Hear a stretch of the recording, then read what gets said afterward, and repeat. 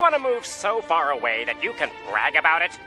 Would you rather tear out your brainstem, walk out into the middle of the nearest three-way intersection, and rope with it, than continue living where you do now?